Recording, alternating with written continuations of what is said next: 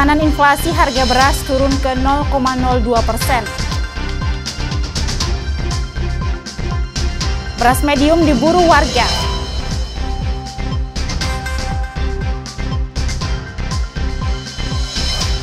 Isran Hadi resmikan pembentukan tim sukses.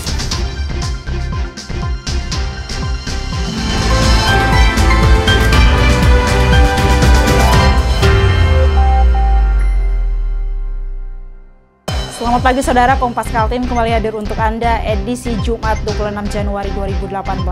Selain tiga informasi utama tadi, sejumlah informasi dan berita menarik lainnya telah kami rangkum untuk Anda dalam rangkaian berita Kompas Kaltim edisi hari ini. Bersama saya Polina Jaru, inilah Kompas Kaltim selengkapnya.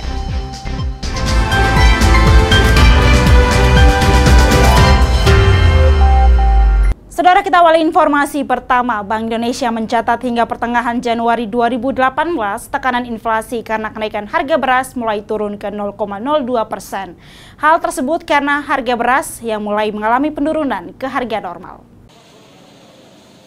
Komisi Pengawas Persaingan Usaha bersama Bank Indonesia Balikpapan meninjau stok dan harga beras di distributor beras Balikpapan pada Selasa pagi. Peninjauan ini dikarenakan kenaikan harga beras yang cukup tinggi dalam beberapa pekan terakhir. Dari hasil pantauan, beras premium ukuran 25 kg yang sebelumnya Rp295.000 kini masih berkisar di harga Rp315.000. Sementara beras medium berkisar pada harga Rp270.000. Namun harga beras ini sudah mulai mengalami penurunan dari harga sebelumnya. Bank Indonesia mencatat sebelumnya kenaikan harga beras menyumbang inflasi sebesar 0,09 persen. Namun karena mulai mengalami penurunan harga, tekanan inflasi kini hanya 0,02 persen. Jadi tadinya beras itu kira-kira menyumbang inflasi 0,09, tapi sekarang karena udah terjadi penurunan harga, udah mulai kembali stabil, kira-kira uh, tekanan inflasinya tinggal 0,02 persen. Jadi udah ya, kembali normal ya. Harapan kami uh, paling tidak operasi pasar yang dilakukan oleh Bulog uh, bersama Dinas Perdagangan ini terus uh, dilanjutkan sehingga harga beras kembali uh, seperti seperti semula. Bank Indonesia berharap operasi pasar oleh Komisi Pengawas Persaingan Usaha terus dilakukan agar harga beras dapat kembali ke harga normal.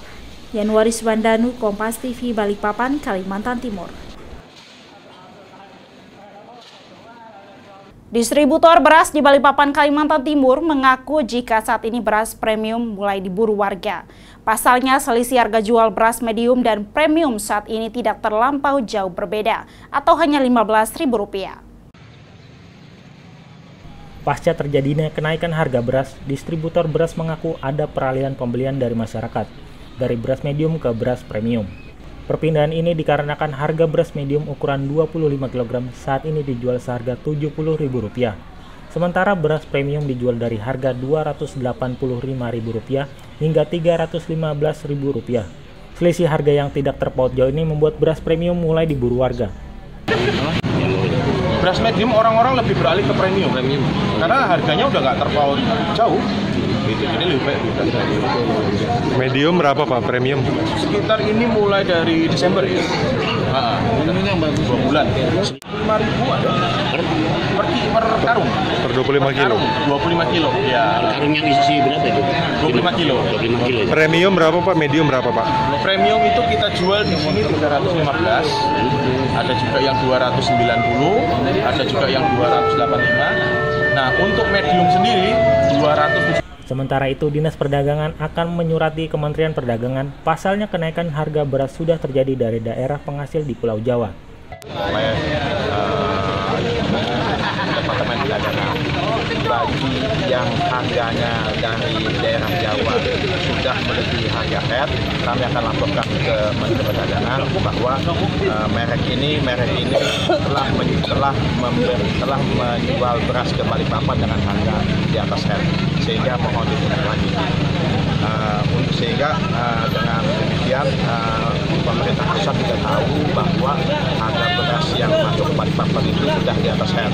Tetapi yang bagi naiknya di Balikpapan kami akan surati uh, agar supaya dia kembali ke, ke apa ke harga head semula dan atau tidak usah menjual yang 10 kilo atau 5 kilo sehingga tidak terjadi kenaikan di atas. Meski harga beras naik, namun stok beras di Balikpapan Kalimantan Timur masih bertahan hingga 4 bulan ke depan. Distributor juga tidak kesulitan mendapatkan stok beras tiap bulannya. Yanuar Iswandanu, Kompas TV Balikpapan, Kalimantan Timur. Sebuah distributor beras di Balikpapan, Kalimantan Timur pada selasa siang mengemas ulang beras premium dari ukuran 25 kg ke ukuran 10 kg dan 5 kg. Pemilik toko berdali upaya ini dilakukan untuk menekan harga jual beras dan menyesuaikan dengan kebutuhan masyarakat. Di tengah kenaikan harga beras yang cukup tinggi dalam beberapa pekan terakhir membuat salah satu distributor beras di Balikpapan, Kalimantan Timur mengemas ulang ukuran beras. Beras premium ukuran 25 kg dipindah ke karung beras ukuran 10 kg yang dijual seharga Rp134.000 dan kemasan 5 kg yang dijual seharga Rp60.000. Pemilik toko berdalih upaya ini dilakukan agar bisa dibeli oleh kalangan masyarakat dan menekan harga. Sementara Komisi Pengawas Persaingan Usaha menilai tindakan tersebut justru menyebabkan harga jual lebih mahal karena ada selisih harga jual beras Rp700 per kilogramnya. Di, pack ulang, Pak. Di pack ulang. Sengaja di pack ulang ya? Dari 25 ke 10 ini emang sengaja gitu? Iya. Kenapa Pak alasannya Pak? Alasannya kenapa? Alasannya kan plastiknya lagi, packingnya lagi, susutnya lagi, biaya jahit segala. Apa warga lebih banyak nyari yang 10 kilo Pak atau? Iya, dari 10 kilo, 5 kilo. Jatuhnya jadi tinggi banget, beda per kilonya itu hampir 700 rupiah per kilo karena satu kilo itu 12.720 kalau kemasan 25 kilo sedangkan kalau kemasan 10 kilo itu dia jual di harga 13.400 jadi bedanya hampir 700 ya per kilo karena dia jual 134 KPPU juga menilai sejauh ini belum ditemukan adanya indikasi permainan kartel beras di Balikpapan, meski harga beras mengalami kenaikan harga cukup signifikan. Yanuris Wandanu, Kompas TV, Balikpapan.